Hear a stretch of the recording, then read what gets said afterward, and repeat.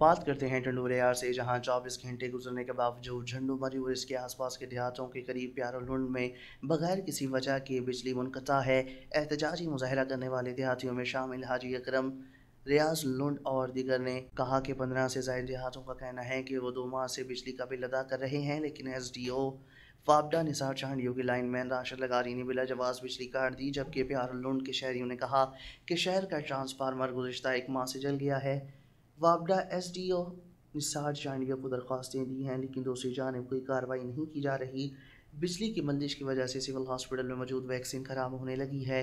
तालका headquarter Pyarolund के assistant commissioner Mukhtiarkar NADRA office Benazir income support program town committee और D S P Jhandumari के दफात और थाना प्यारोलूड के साथ साथ कारोबारी मराकज बंद हैं। निसार चांडी और, और लाइन मैन राशिद लगारी को गिरफ़्तार करके मुकदमा दर्ज किया जाए।